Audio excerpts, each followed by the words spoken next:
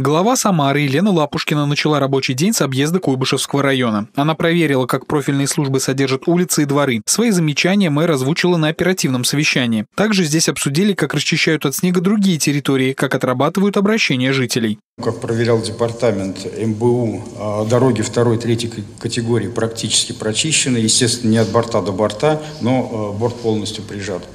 Проблемы э, традиционные после снегопадов – это тротуары и не до конца очищенные посадочные площадки, ну, в частности, в промышленном районе.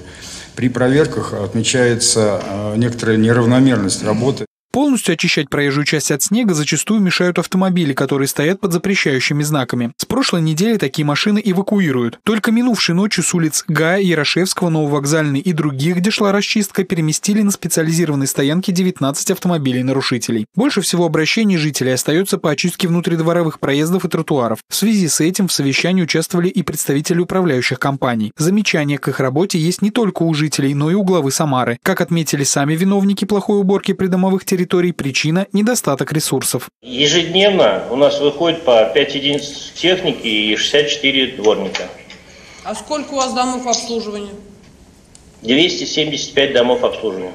Ну, то есть на одного дворника 3 с лишним дома, да, и 5 единиц техники на 200 с лишним домов. Вы считаете этого достаточно, и ситуация поправлена?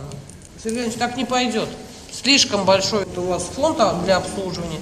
Елена Лапушкина поручила административным комиссиям тщательнее проверять территории районов города, выявлять и предоставлять конкретные примеры бездействия и недоработки управляющих компаний, чтобы впоследствии накладывать более серьезные санкции. Информацию о нерадивых и положительно отличившихся управляющих организациях предлагают начать публиковать.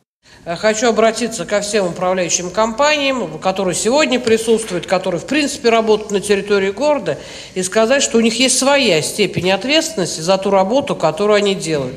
Им люди платят деньги. Это ваш бизнес, уважаемые управляющие компании. Извольте работать честно и правильно.